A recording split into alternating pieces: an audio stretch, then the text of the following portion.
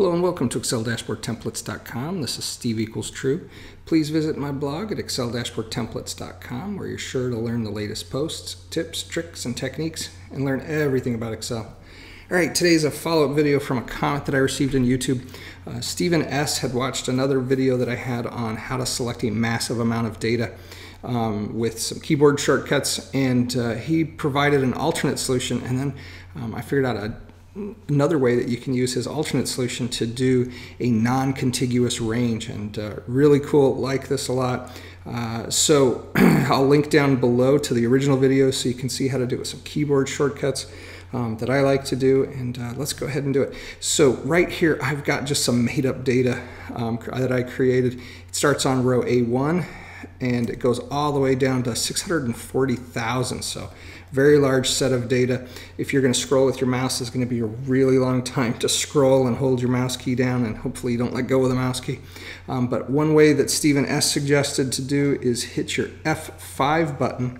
Once you hit the F5 button, you can type in that range. So let's do A1 through, uh, and it's going to be column E, 640,000 and look at that, it highlights that entire range.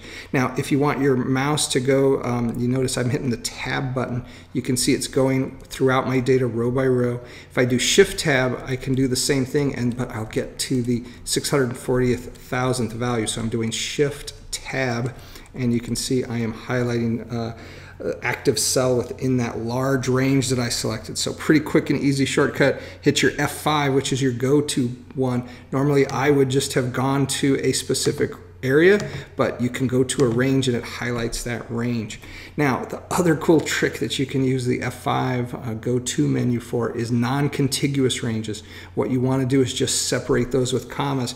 I find sometimes I'll do a non-contiguous range and it repeats over and over again, but I might uh, uh, hit my mouse on the wrong cell and now I've got to start all over again. But if you have that non-contiguous range that you're looking for, hit your F5 key and let's do A1 through, uh, let's go D5 and then you do a comma and I'm going to do uh, B7 colon and I'm going to go through E21 and let's do one more. Let's do uh, uh E24 um, through uh, F24. Just add that in there. I'm going to hit my Enter key and look at that. It has highlighted the non-contiguous range for me and selected it.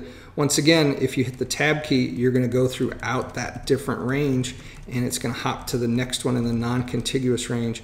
If you hit your Shift Tab key, it will like also bring you to the bottom. It'll start going up uh, and if it hits the top of the range, it will then go to the bottom cell and continue up. So hopefully you found this a really cool technique. Um, I just learned it a little bit ago. The F5, hit your F5 and your go-to, type in the range that you want to select. If you want to do non-contiguous ranges, just separate those with commas.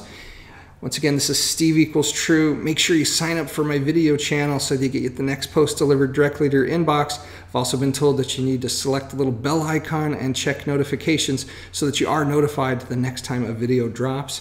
Also, head over to exceldashboardtemplates.com to check out some of my other great posts.